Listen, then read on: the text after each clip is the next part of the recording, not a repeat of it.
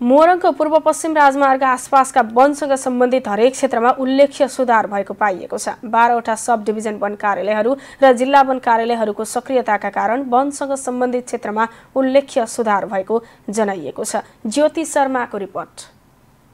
मङ्गलबारे Pathari शनिसरे Kanepokhari Belbari Salakpur sector वन कार्यालयले दिएको जानकारी अनुसार हरेक क्षेत्रमा उल्लेखीय सुधार भएको छ।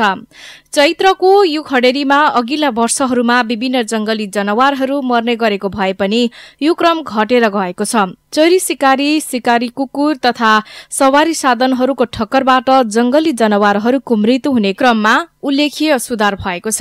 अहिलेसम्म हामीले सिकारीलाई हतियार लिएर जुन भरुवा बन्दुक लिएर पस्छ यिनीहरूलाई पक्राउ गरेर तिनवटा मुद्दा लगभग दायर गरिसकेका छु।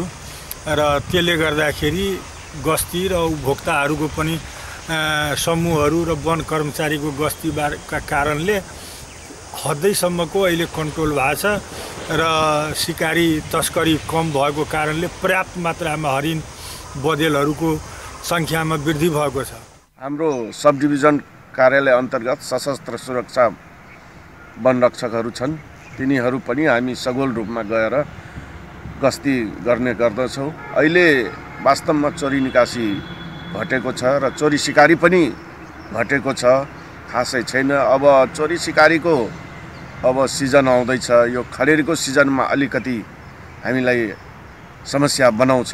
भए पनि हामी प्राय ठाउँ ठाउँमा सोराकीहरू राखेका छौँ। र हामीहरू गस्ती पनि गरेका छौँ राति पनि दिउँसो पनि बेलुका पनि र सुराकीहरूबाट हामीहरू केही जानकारी पाएपछि त्यो त्यो ठाउँमा गएर नियन्त्रण गर्छौँ। अहिले त खासै ठुलो घटनाहरू छैन। सब डिभिजन वन कार्यालयहरूबाट सशस्त्र वन रक्षक सहितको टोली सामुदायिक वन तथा साझेदारी वनको नियमित गस्तीका कारण उल्लेखीय सुधार भएको जानकारी प्राप्त भएको छ। नेपाल सरकारको नीति अनुसार सामुदायिक वन र साझेदारी वनको अवधारणा ल्याइएपछि वन पैदावार र वन्य जन्तुको चोरी शिकारीमा सुधार आएको सेक्टर वन कार्यालय बेलबारीका सहायक वन अधिकृत दिपेश मिश्रको भनाइ छ।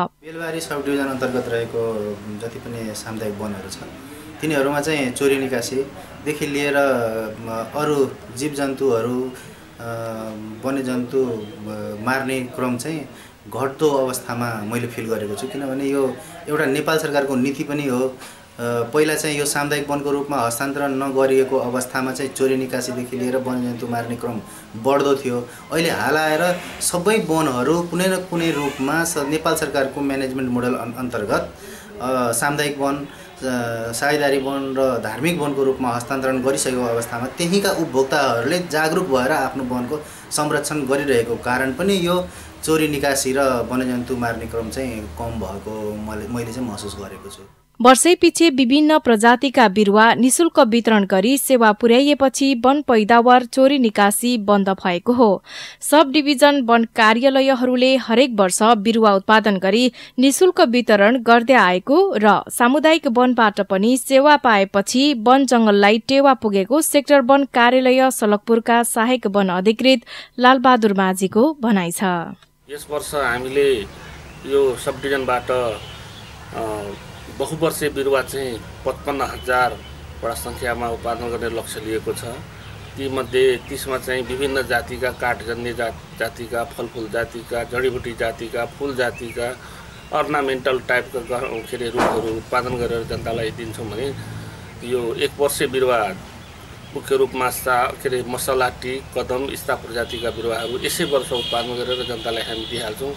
र उहाँहरूले चाहिँ यहाँ एक रुपियाँ पैसा तिर्नु आउनुहुन्छ इन्ट्री गर्नुहुन्छ आफ्नो निवेदन र चाहिएको आवश्यक भएको चाहिँ प्रजातिका बिरुवाहरू लिएर उहाँहरूले लानुहुन्छ। त्यसरी नै वितरण गर्ने प्रक्रिया छ र उत्पादन गर्ने प्रक्रिया पनि यसरी नै मोरङका रङ्गेली विराटनगर सलकपुर केराबारी बेलबारी लेटाङ जाते कानीपोखरी पथरी मंगलबारे मधुमल्ला र लाठीझोडा गरी जम्मा बाह्रवटा सब डिभिजन वन कार्यालयहरू र जिल्ला वन कार्यालयको सक्रियताका कारण वनसँग सम्बन्धित क्षेत्रमा उल्लेखीय सुधार भएको जनाइएको छ।